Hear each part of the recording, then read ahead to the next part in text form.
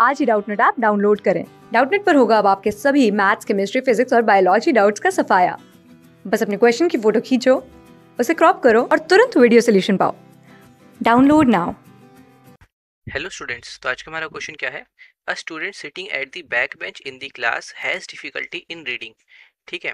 What could be the defect in his vision तो इतना ही सोचो, एक स्टूडेंट को पीछे से बैठ के देखने में दिक्कत हो रही है मतलब उसे फार ऑफ़ ऑब्जेक्ट मतलब उससे, उसकी आइज़ से काफ़ी दूर हो गया हमारे पास, हमारा जो ब्लैक बोर्ड है उसकी आइज़ से दूर हो गया तो उसे फार ऑफ़ ऑब्जेक्ट को देखने में दिक्कत हो रही है। तो ऐसा कौन सा डिफेक्ट है जिसमें आपको दूर की चीज़ सही से दिखाई नहीं देती, वो डिफेक्ट होता है हमारा मायोपिया का। ठीक है? तो हम लोग समझ गए कि भाई उसके आइज़ में कौन सा डिफेक्ट है मायोपिया है।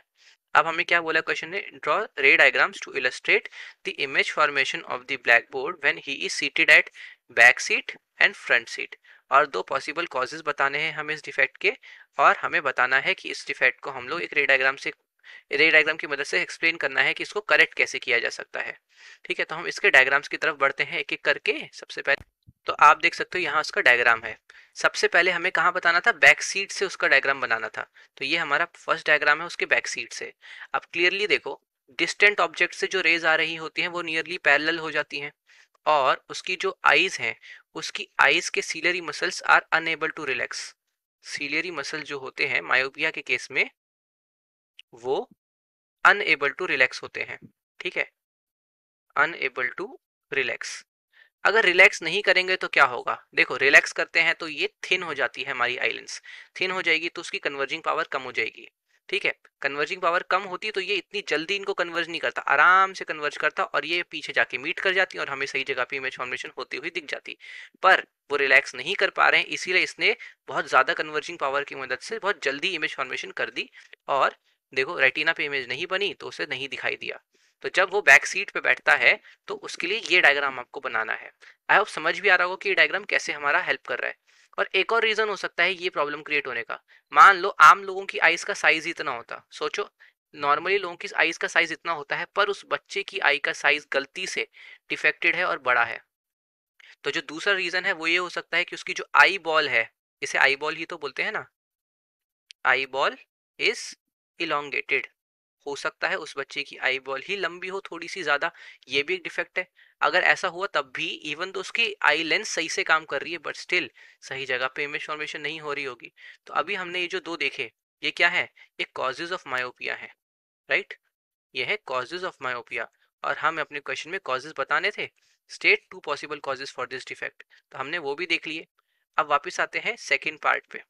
सेकेंड पार्ट क्या बोल रहा है? फ्रंट सीट पे क्या होता है? फ्रंट सीट का मतलब जब उसकी जो आ, उसके पास जो ब्लैक बोर्ड है वो काफ़ी करेक्ट डिस्टेंस में जहाँ तक वो देख पाता है। तो अब ब्लैक बोर्ड काफ़ी पास है उसकी आइस के तो क्या होता है उसकी आइस के पास ऑलरेडी बहुत ज़्यादा कन्वर्जिंग पावर है लेकिन अब नोटिस करो इन दोनों केसेस में आप खुद देखो किस केस में आपको फील हो रहा है ज़्यादा कन्वर्जिंग पावर की नीड रही होगी।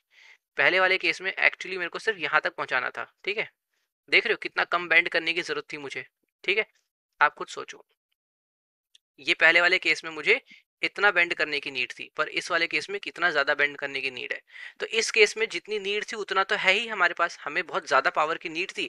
यहाँ ऑलरेडी बहुत ज़्यादा पावर है और बहुत ज़्यादा बेंडिंग हो रही है इस केस में। इस केस में नहीं थी, फिर भी हो रही थी, इसीलिए दिक्कत हो रही थी। तो हम समझ गए कि भाई उसकी आइज़ ऑलरेडी इतनी पास की चीज़ को कन्वर्ज कर रही है और वो सही जगह पे आके मीट हो रही है। तो ये है जब उसे एक फार पॉइंट पे ऑब्जेक्ट दिखाई देता है। मतलब जब वो फ्रंट बेंच पे बैठ जाता है तो वहाँ से उसे करेक्टली दिखाई दे रहा होगा, क्योंकि उसकी जो ब्लैक बोर्ड है, वो उसके फार पॉइंट की रेंज में है। और फाइनल हमें क्या बताना है? इसको करेक्ट करने का डायग्राम तो जो लास्ट पार्ट है, वो ये है। इसको करेक्ट करने के लिए हम क्या करते हैं? आपकी आइस की कन्वर्जिंग पावर ज़्यादा है ना? आपकी आइस की कन्वर्जिंग पावर बहुत ज़्यादा है। कन्वर्जिंग पावर को कम करने का सिंपल तरीका है, एक डाइवर्जिंग लेंस का इस्तेमाल कर लो। ठीक है? तो हम लोगों ने डाइवर्जिंग लेंस लगा लिया। कौन सी लेंस हमारे पास होती है? डाइवर्जिंग हमारे पास होती है कॉनकेव लेंस तो कॉनकेव लेंस की मदद से हम इसको करेक्ट कर सकते हैं। हमने कॉनकेव लेंस लगाया। अब नोटिस करो, यहाँ दूर से भी जो लाइट रे आ रही थी पैरेलल वो इसने क्या कर दिया? इसने उसको कर दिया डाइवर्ज ठीक है? अब इसको पीछे मीट करवा तो ऐसा लग रहा है ये इसी पॉइंट से आ रही है, जिस पॉइंट तक वो ऑलरेडी देख पा रहा था।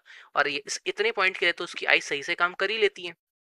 तो उन्होंने सही जगह पे उसकी इमेज फॉर्मेशन कर दी।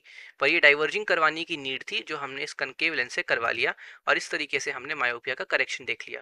तो आई होप ये क्वेश्चन सबको समझ आ गया होगा अब। क्लास सिक्स से ट्वेल्थ से लेके NEET I I T JEE Mains और एडवांस के लेवल तक। दस मिलियन से ज़्यादा स्टूडेंट्स का भरोसा।